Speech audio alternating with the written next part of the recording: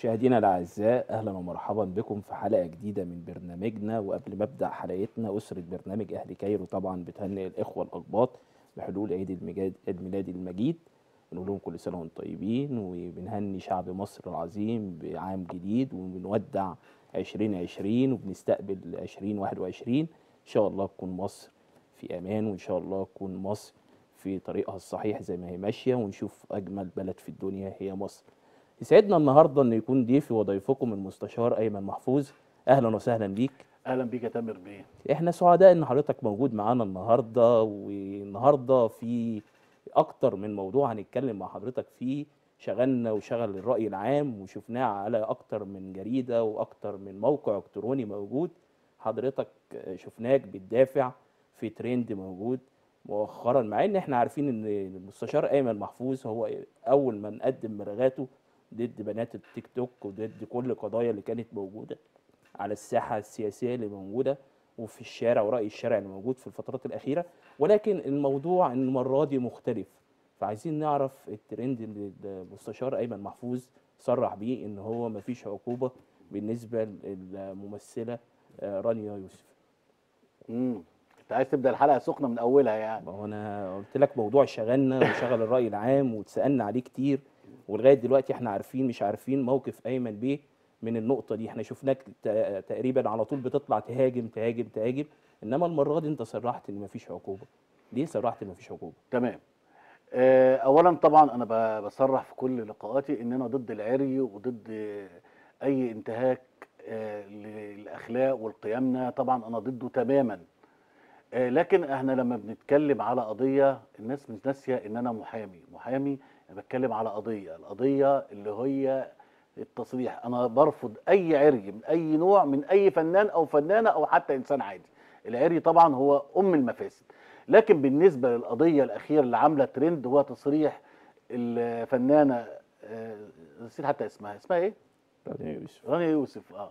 أنا مش مهتم بيها قوي لأن أنا ما ببصش للفنانين على هم مين أو اسمهم إيه. أنا مش مهتم بالشأن الفني قوي يعني لكن الفنانة دي صراحة التصريح أنا بقول التصريح ده لا يمثل جريمة قانونية.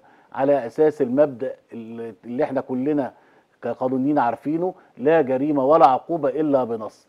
هي قالت هذا التصريح لا يمثل إلا مجرد تصريح بتتحدث فيه عن آه يعني هذا ال ال ال الوضع في الجسد ليها. طبعا إحنا بنرفض أي كلام خارج يجرح مشاعرنا لكن هي صراحة إحنا شفناك في أكتر من تصريح قبل كده. كنت بتتكلم وكنت بتقدم بلاغات للنائب العام. ليه في القضية دي أو في التصريح ده بالذات ما شفناش أيمن محفوظ بيقدم بلاغ؟ إحنا ضد العري قلت لك لكن إحنا هذا التصريح هذا التصريح غير معاقب عليه قانونا لأنه لا يمثل خدش الحياء العام ولا خدش الأحد ولا محاولة لنشر مصر دولة عادات وتقاليد ودائما بنقول إن إحنا دولة مصرية اتربينا على العادات والتقاليد واحترام القيم والعادات اللي موجودة بين الكبير واحترام كل ما هو موجود في مصر إن إحنا دايما بنحافظ على عاداتنا وتقاليدنا. عاداتنا وتقاليدنا أبنائنا دائما بيكتسبوا من شاشات التلفزيون كل ما هو مرسل ليه إن هو يكتسبه إذا كان هو شيء مفيد فده شيء كويس بيفيدنا إحنا كأولياء أمور بالنسبة للابناء ولو هو شيء بالسلبي برضو أبنائنا بيكتسبوه فأصبح إن الموضوع مش موضوع بس على قد الأستاذ ايمن محفوظ. حضرتك بتهاجمني وحضرتك يعني أنا بتكلم بصفتي رجل قانون. تمام. هذا الفعل أنا مش بهاجمك لا أنا بقول رأي الشارع حضرتك صرحت أيوة. إن مفيش عقوبة. رغم إنه لا يمثل جريمة قانونية إنما هو يمثل جريمة أخلاقية. القصد منها إثارة يعني مشاعر غاضبه عند الناس. لكن بالقانون هذا التصريح لا يمثل جريمة طبقا لنصوص القانون. ويمكن تصريحي دوت اللي أصدم الجميع يعني إحنا نقول إن أي تصريح غير ملائم يكون فيه عقوبة. لأن عايزين تعديل تشريعي. هذا التصريح أصابني وأصاب حضرتك وأصاب كل المشاهدين بالذهول وكلنا رافضينه لكنه لا يمثل جريمة جنائية إنما هو يمثل جريمة أخلاقية. وإحنا مش من بالقانون مش من من ولا ولا الشرع بيقول إن إحنا نفتش في سرائر في سرائر الناس إن هي كانت بتتهكم على آه، مهاجمة المذيع ليها. هذا التعبير المرفوض شكلا وموضوعا أنا برفضه لكن بتكلم باسم القانون لو اتعاقبت رانيا يوسف على هذا التصريح أو تحكمت على تحكمت بهذا التصريح لا عقوبة قانونية عليها بغض النظر. عن العري بقى اللي بتقدمه التاني دوت ده موضوع تاني خالص هذه محفوظ. أيمن محفوظ شفناه في. قضايا كتير كان دايما بيخش كمهاجم وبيقدم بلاغات لدرجة إن بعض المواطنين هاجموك كتير وسموك محامي بلاغات إن أنت كل شوية بتقدم بلاغ بلاغ بلاغ بلاغ حتى متهيألي لو في البيت عندك حصل حاجة ممكن تقدم بلاغ. هم لقبوك بكده. فاحنا بنقول دلوقتي أنا شايفك بقالك آه، يعني فترات بسيطة إنك ابتديت إن أنت تدافع وليس تهاجم. شفناك في قضية في القضية بتاعت طبعا قبل ما يحكم فيها طبعا للكابتن الكبير كابتن مصر آه، مجدي عبد الغني إن أنت دافعت وقلت ما فيش عقوبة ليه وفعلا بالفعل هياخد براءة. حصل قلت هياخد براءة وبالفعل حصل وخد البراءة. وشفنا ده. هل لما لقيت إن الجمهور ابتدى يهاجمك وابتدى إن أنت بقيت الناس تهاجمك ابتديت إن أنت تغير من إن أنت تكون مهاجم ليكون مدافع؟ أنا لا مهاجم ده ولا مدافع. محفوظ. أنا أنا بطبق القانون وطبق نصوص القانون على الوقائع المسندة إلى المتهمين أو أو الذي اصابهم هذا الاتهام. بالنسبة لرانيا يوسف عشان نقفلها خالص أنا قلت لا لا عقوبة قانونية وإن شاء الله هيحكم القضاء بذلك. وتوقعت إن الكابتن مجدي عبد الغني هياخد براءة وفعلا ده اللي حصل أنا يعني مش مش بنجم أنا بطبق نصوص القانون وأنا مش هقول كلام ما يحصلش أنا. بقول كلام عشان يحصل بلدنا بلد قانون وكل نوضح نصوص القانون وإحنا نحترم القانون ونثق في قانوننا ونزاهة القانون طبعاً. وأنا أعلم جيدا طبعاً. إن القانون على الكل ما فيش حد فوق القانون وعارفين إن القانون دايما في الحق عشان نختم الكلام ده موضوع رانيا يوسف ده محتاج تعديل تشريعي ومحت... وموضوع كابتن مجدي عبد الغني وحصوله على البراءة هو كان آه، يعني كان عدم توافر المصلحة والصفة في هذه القضايا ومن ثم حكم القضاء ببراءته. وكنت واخد مجال هذه القضية أو هذا الشكل من القضايا على أساس نقول إن ما نسرعش بالتشهير بالمشاهير ونقول آه ده متهم في ست قضايا. كابتن مجدي عبد الغني اللي جاب لنا الجون في كأس العالم؟ كان متهم في ست قضايا وانشهر بيه. لا طبعا مش ده مرفوض تماما. وقلت ال- القضايا دي إن شاء الله هيحكم فيها بالبراءة. لست مهاجما ولست مدافعا إنما أنا مطبق للقانون. إحنا شفناك في مثل هذه القضايا وكنت مهاجم وخدوا أحكام بالفعل. بعض آه، فتيات التيك توك وغيرهم وغيرهم. ولكن الموضوع المرة دي هننتظر كلمة القضاء والقانون ونثق في القانون ونزاهة القانون حكموا فعلا بمجدي عبد الغني بالبراءة. في في موضوع رانيا يوسف. رانيا يوسف. وإن شاء الله بإذن الله نثق في عدالة القانون. شاء أما بالنسبة لموضوعنا الثاني بالنسبة إن إحنا فرصة إن معانا دلوقتي المستشار أيمن محفوظ كراجل قانون في رأي الشارع دلوقتي في قضية طفل المرور. قضية طفل المرور اثارت الجدل في الشارع عندما أخذ هو آه، وزمايله يتحكم عليهم هم بالسجن زمايله وهو يتحط في دار رعاية أو في دار رعاية.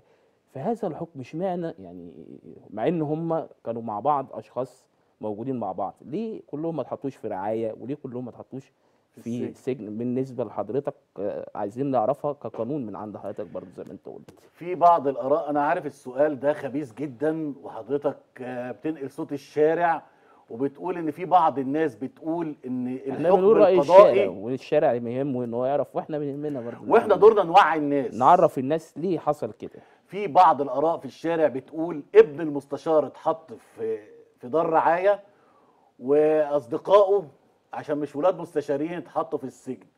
وده طبعا إخواتنا وأهالينا البسطاء بيفكروا بتفكير غير قانوني. ودورنا ودور حضرتك إن ننقل الصورة الحقيقية للشعب ونفهمهم ونوعيهم. أكيد. ليه ابن المستشار اتحط في رعاية وليه أصدقائه تحك...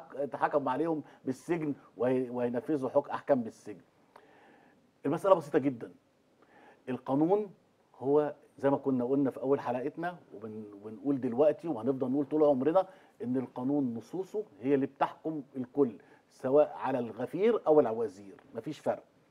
القانون حط قانون الطفل قال إن الطفل اللي أقل من 15 سنة لا عقوبة قانونية عليه بالحبس لا عقوبة قانونية مقيدة للحرية على هذا الطفل حتى لو كان آه، قتل لأن كان في واقعه شهيرة طفله قتلت طفله أقل من 15 سنة وكان. الحكم آه، سنسلمها لأهلها. أكيد.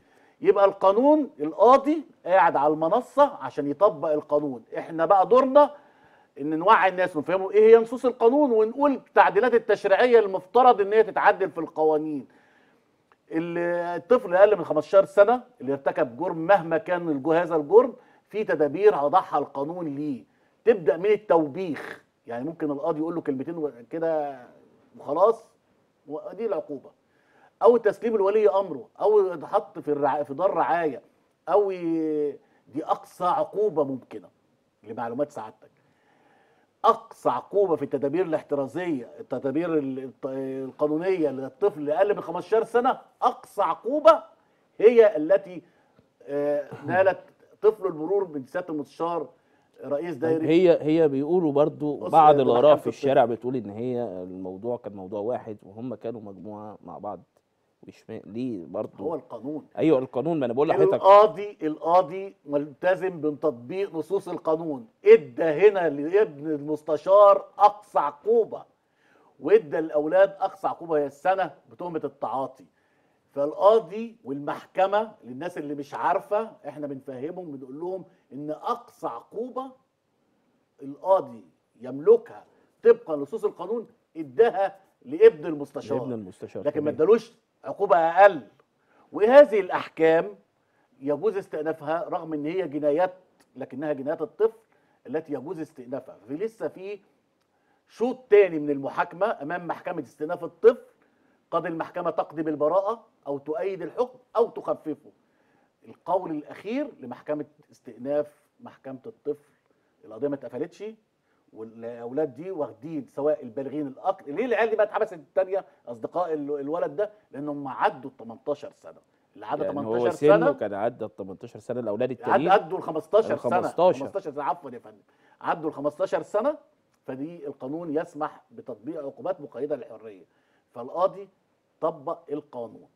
فاحنا برضو من نحن حضر- إحنا نحن نثق حضرتك في عدالة القانون ونثق في ادى القانون. أقصى عقوبه وإحنا حبينا نوجه بس التوعية للشارع المصري عشان ما يقولش ده ده عشان إيه خد ده كده ودول كده عشان ده ابن مش عارف مين وده إيه. فإحنا بنقول. القانون ما بيعرفش فرق بين وزير وبين غفير. تعديل لقانون الطفل لأنه ما- أصبحت مشاكله كتير وبنطلب البرلمان الجديد في العام الجديد إن هو يعدل قانون الطفل أسوة بالناس واسوة بالضحايا اللي إن خلاص الجرائم أصبحت سن الجريمة سن وسن الجريمة سن ال بقى 14 قليل وال قوي 15 سنة. و11 سنة. وإحنا بنطالب برضو من ضمن صوتنا لصوت حضرتك إن يكون في تعديل للقوانين إن شاء الله في الفترة اللي جاية والبرلمان. الجديد يكون في تعديل ونشوف مصر أجمد بلد في الدنيا دي كلها.